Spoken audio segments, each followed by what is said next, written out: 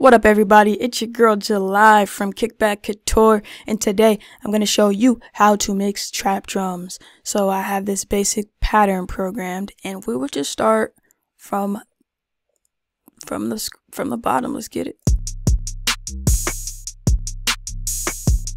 So I haven't done anything to this at all, other than program it.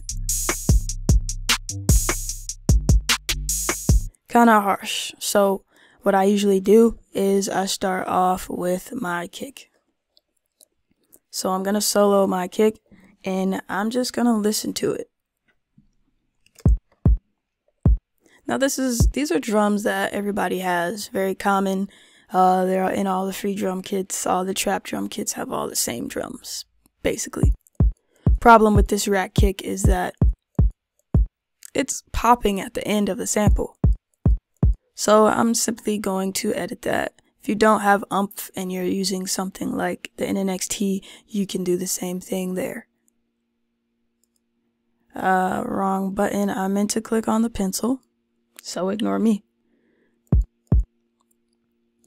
Clicking on the pencil, we will now listen to our sample. And we realize that it is happening somewhere over here, so let's go ahead and crop this and this is where the pop is occurring. Right here. It's really small, but we can see it. I'm going to hit fade out like 50 million times so that it's a smooth fade.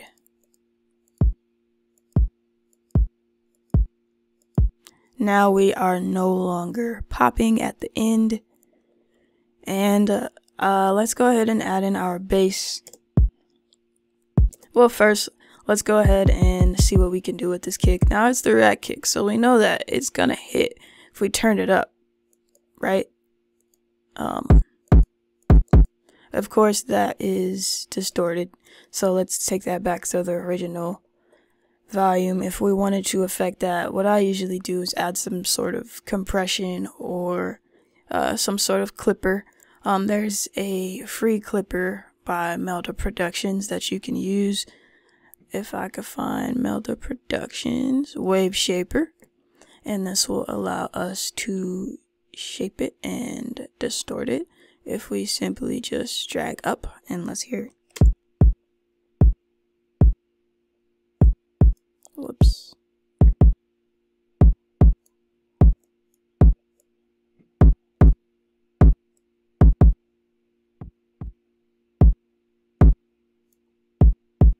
Another option we have besides this wave shaper is uh, G clip, which is what I was originally going to pull up when I said clipper.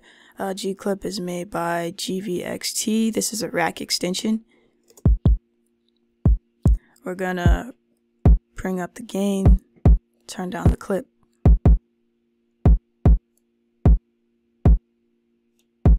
Clip is going to cut everything off in this display. And we could turn up softness if we want wanted to soft clip. I like hard clip. Now let's go ahead and add our bass in. And uh, let's solo our kick as well. And we'll unsolo this and there. Let's add some distortion to this 808. Why don't we? Let's go with. There's uh, tons of distortions. I like uh, Softube saturation is free, so we can add that. It's free in both rack extension version and VST, so whichever you prefer will work. Um, let's go with Softube saturation knob.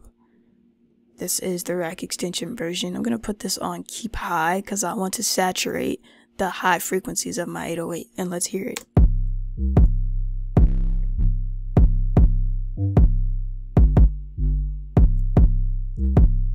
And you can change it to neutral for mid frequencies and low for low frequencies.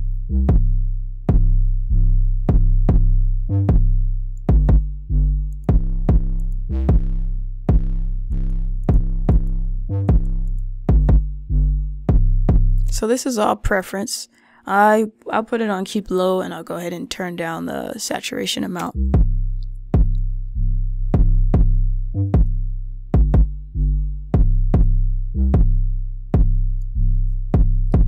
Now, the next thing I will do is sidechain these. These are, there are multiple ways to sidechain. You can use something like, uh, Trackspacer, which will allow you to only duck the frequencies of the kick when the 808 plays rather than the entire signal, which would be regular sidechain compression. You can use uh, reaction by Reasonistas, or you can use the built-in sidechain compressors. You can use whatever you want. But in this case, I'm actually going to go with Trackspacer because it's going to allow me to only duck the frequencies of the kick when the 808 plays instead of the entire signal. So we'll still be able to hear those high frequencies and it won't get rid of the entire signal. So I'm going to create an instance of Trackspacer.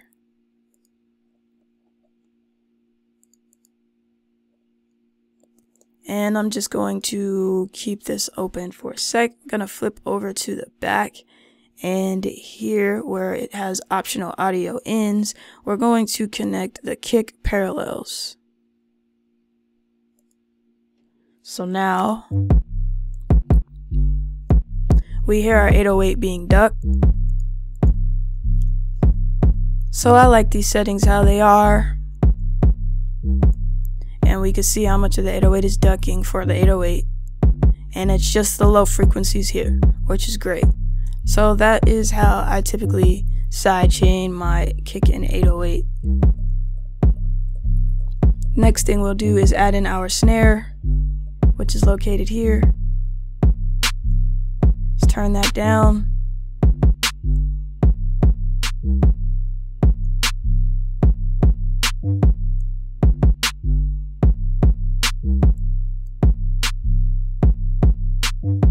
And I always check in my monitors because these headphones aren't very good at low frequency response. But for now, I take a high pass filter and put it on the, the snare because we don't need this low information. Then I do the same thing on snare 2, volume and then filtering. And this is my snare, this is from uh, the Spyder Demon drum kit. Meant to change it out, but I didn't by accident, so oh well, it's there. I think that's a good volume for it. And this is my drum, so it was automatically uh, filtered in the creation process. But I'll go ahead and add a filter anyways. Then this clap is a third snare. So I'll change that and we will change the volume of that. And let's go ahead and add some reverb to it. Here in Umpf we have easy access to reverb. Turn it up a bit. Let's go ahead and drop the pitch a bit. We don't want it to be too attention grabbing.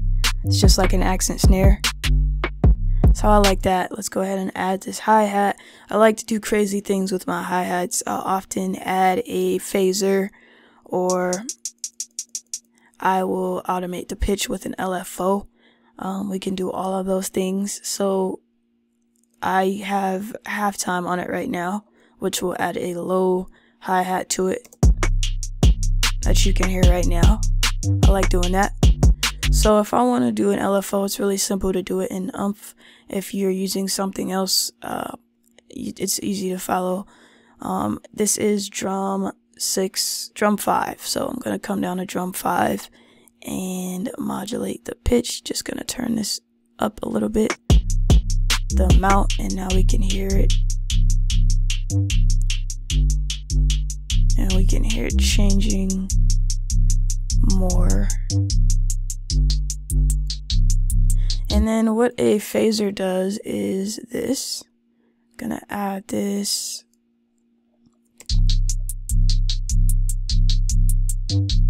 And we put this after halftime. So if we wanted to put it before, we could. Holding down shift, I'm gonna drag it up. And I like that effect. Now another thing I do to my hi-hats is I add a pan effect. Cableguys has a free plugin called Pancake and it will pan anything from left to right at any rate of which you draw. So we can speed this up to one bar.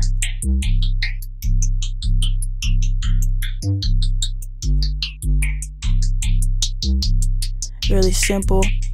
And then once we have it panning in all types of different directions, we have to change the volume because it's louder now that it's not mono like the rest of the drums. So before we do that, I want to add some reverb.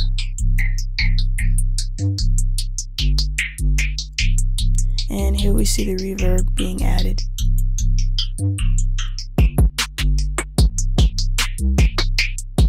I like a fairly low volume if it's panned from side to side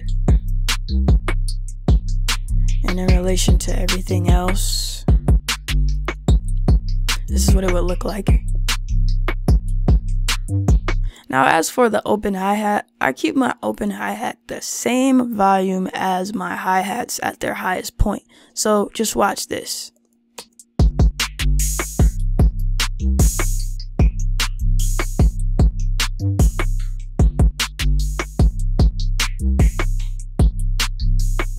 Perfect volume there. Now, another thing you could do that's kind of creative, in my opinion, you can sidechain the hi hat and open hi hat because technically drummers can't play both the hi hat and the open hi hat at the same time because it's one instrument. If you know what I'm saying. So, uh, easy way to do that is to uh, come to the hi hat and take this and from the dynamic sidechain input and put it into the parallel of the hi-hat. Alright, we can now edit this in our mixer. Dynamics. Turn on the compressor. Let's turn the threshold to the left. Turn up the ratio. So now every time the open hi-hat plays, the hi-hats will be quieted. We'll do a quick release and a fast attack. And that kind of gives it more bounce. So now I'm going to check my mix and my monitors. And I'll be right back.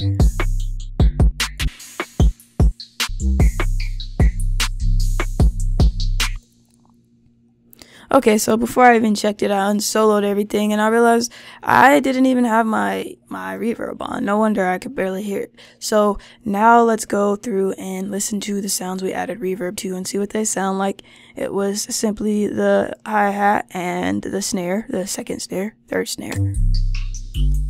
So we're going to turn down the reverb. And then on the snare, we're going to do the same thing. It plays on the fourth pattern. And we'll turn that down as well.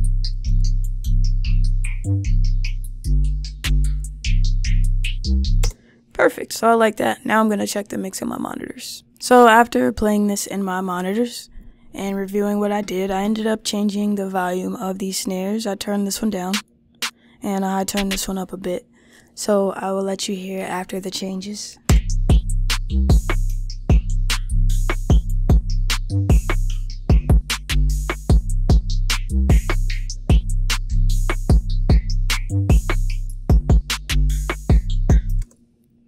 Now, I, after I mix my drums, I am clipping. And not here, but my master. So here on the VU meter, we're doing quite a bit of clipping at a certain point. Actually, doesn't really show here. Barely. So if that happens to you, all you have to do is simply click all of your drums, find them all, everything that you mixed, uh, hold down shift, select them all, and turn them all down together. Then after that, you would mix relatively all of your instruments uh, add in your instruments. So now we will not be clipping anymore.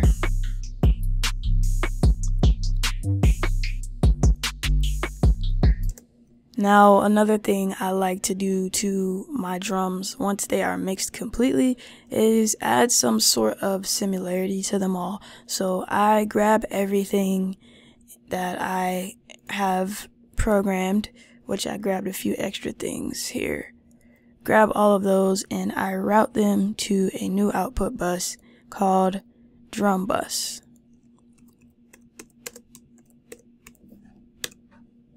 So what I put on my master or my bus, drum bus, it varies from beat to beat depending on the filling I want.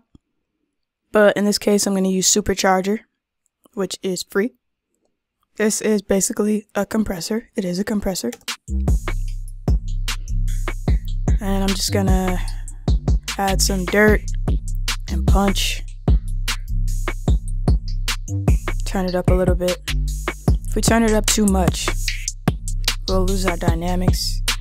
Uh, is that the best way to say that? We lose the character of our drums. So we don't want to add too much. And here we have a dry wet knob in which we can add a portion of the signal rather than the entire signal if we so choose to. So I usually add this and then uh, decrease the output so that we're not clipping at any point then I can start mixing in my sounds and instruments in the beat. So, if you like this video, give it a like, comment down below, subscribe. Most definitely let me know what you would like to see next. It's all culture, kick back, and cook up.